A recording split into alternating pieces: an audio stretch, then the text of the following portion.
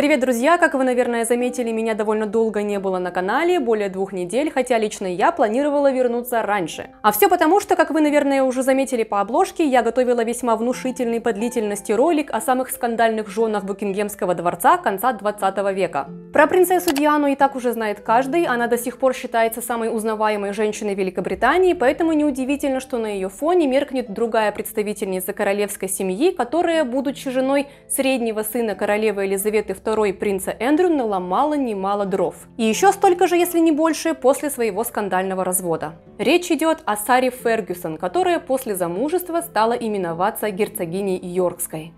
Именно эти две женщины изменили облик британской монархии и, возможно, сами того не осознавая, своими порой скандальными выходками сделали ее мега популярной по всему миру, в очередной раз доказав, что черный пиар – это тоже пиар. В этом ролике мы проследим жизненный путь двух главных королевских бунтарок 80-х и 90-х, ведь между Дианой и Сарой можно провести множество параллелей, начиная с самого детства. Мы увидим, как эти две женщины, которые, откровенно говоря, совершенно не подходили на роль королевских жен, заставили буквально весь мир говорить о британской монархии. Как вы знаете, я не беру рекламу для своего канала, по крайней мере пока что, потому что еще не было тех предложений, которые вызывали бы во мне доверие, а я считаю, что каждый блогер несет ответственность перед своими подписчиками за рекламируемый контент, ну и к тому же не исходило бы от крайне сомнительных личностей или, возможно, вообще мошенников. А так как иных способов монетизации пока что нет, я решила периодически раз в полтора-два месяца выпускать платные ролики на своем канале на Бусти. Первым, как вы знаете, был ролик про историю чумы, и вот второй про принцессу Диану и Сару Фергюсон.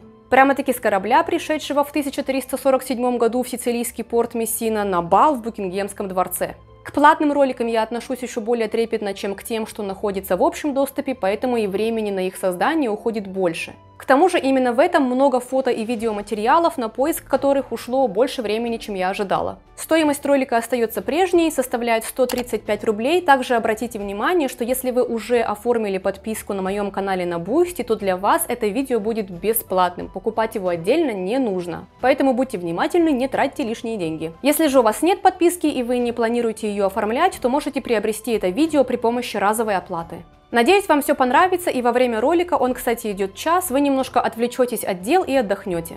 Ну а мы с вами вскоре увидимся в новом ролике здесь, на YouTube, который будет на очень интересную и животрепещущую тему.